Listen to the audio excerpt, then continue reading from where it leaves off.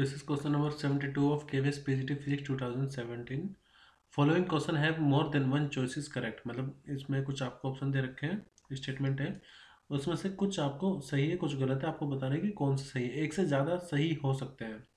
पहला है Planck constant और एंगुलर मोमेंटम मतलब ये आपको बताना कि किसका डायमेंशन फॉर्मूला सेम है। तो Planck constant angular momentum impulse linear momentum torque kinetic energy capacitance और करंट वैसे तो अगर आपको डायरेक्ट याद हो तो ज़्यादा बेटर है, लेकिन फिर भी हम सबके लिए डायमेंशन फॉर्मूला निकाल लेते हैं प्लैंक कांस्टेंट के लिए सबसे पहले। तो प्लैंक कांस्टेंट का आप फॉर्मूला निकाल सकते हैं इक्वल टू एच न्यू से। तो एच इक्वल टू कितना हो जाएगा? एनर्जी अपॉन में फ्रीक्वेंसी अब एनर्जी का डायमेंशन फॉर्मूला होता है M L square T minus two frequency का होता है टी माइनस वन तो एम एल स्क्वेयर टी अभी माइनस वन तो ऊपर जाके प्लस वन हो जाए तो कितना बचेगा? माइनस वन यानी कि एच का प्लैंक कांस्टेंट का डायमेंशन फॉर्मूला आएगा M L square T minus one अब एंगुलर मोमेंटम का देख लेते हैं। तो एंगुलर मोमेंटम को हम एल से डिनोट करते हैं और इसको आप आर क्रॉस पी भी लिख सकते हैं आर क्रॉस पी अब आर मतलब एल एल आर का डायमेंशन फॉर्मूला एल होगा। यहाँ पर पी मोमेंटम है, जो कि मास इंटू वेलोसिटी होता है। तो मास का एम वेलोसिटी का एल टी माइनस वन तो यह आ जाएगा M L square T minus one तो एंगुलर मोमेंटम का dimension formula M L square T minus one है प्लैंक कांस्टेंट का भी M L square T minus one है, यानी कि ऑप्शन ए तो हमारा सही है।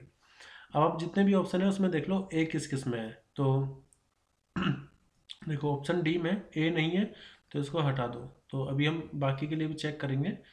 अब चलते हैं ऑप्शन बी पर इम्पल्स और लीनियर मोमेंटम इम्पल्स क्या होता है? इम्पल्स होता है चेंज इन मोमेंटम यानी कि मास इंटू में चेंज इन वेलोसिटी तो इम्पल्स का डायमेंशन फॉर्मूला आएगा मास का एम वेलोसिटी का एल टी माइनस वन यानी कि M L T minus one और अगर आप लीनियर मोमेंटम का देखो, मैंने आपको क्या बताया? Change in momentum linear momentum क्या होता है? मास इंटू वेलोसिटी तो वही तो अभी हमने निकाला mass into change in velocity और मास इंटू वेलोसिटी बात एक ही है, इसका वेलोसिटी का एल टी माइनस वन और मास का एम तो इसका भी डायमेंशन फॉर्मूला यानी कि मोमेंटम का भी dimension formula M L T minus one आएगा। तो ये स्टेटमेंट भी सही है। अब आप वो ऑप्शन देखो जिसमें ए और बी दोनों आ रहे हो। अब ए और बी इसमें बी नहीं है तो इसको हटा दो। अब इसमें भी ए बी है और इसमें भी ए बी है। बाकी अब हम देखेंगे सी और डी में। अब आ जाओ टोर्क पर। तो टोर्क टोर्क का डायमेंशन फॉर्मूला क्या होता है? R cross F sorry torque का फॉर्मूला होता है R cross F dimension formula अगर आप इसका निकालेंगे टोर्क के लिए तो आर मतलब डिस्टेंस यानी कि लेंथ तो इसका एल होगा। फोर्स का होता है मास इन टू एक्सीलेशन या M L T minus two भी आप लिख सकते हैं M L T minus two. तो टोर्क का डायमेंशन फॉर्मूला होगा M L square T minus two. तो टोर्क का फॉर्मूला आ गया। अब निकालते हैं काइनेटिक एनर्जी का। तो काइनेटिक एनर्जी का फॉर्मूला होता है हाफ़ एम वी स्क्वायर। यानी कि मास का एम वेलोसिटी का एल टी माइनस वन का स्क्वायर। तो M L square T minus two. तो काइनेटिक एनर्जी का फॉर्मूला आ जाएगा M L square T minus two.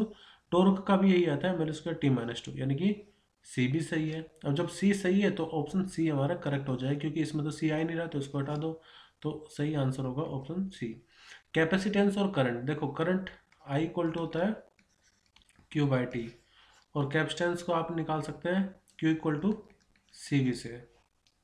तो अगर आप निकालेंगे उसका डायमेंशन फॉर्मूला तो वो सेम नहीं आएगा तो हम, हमें करेक्ट स्टेटमेंट लेनी है तो वो हो जाएगा ए बी सी यानी कि ऑप्शन सी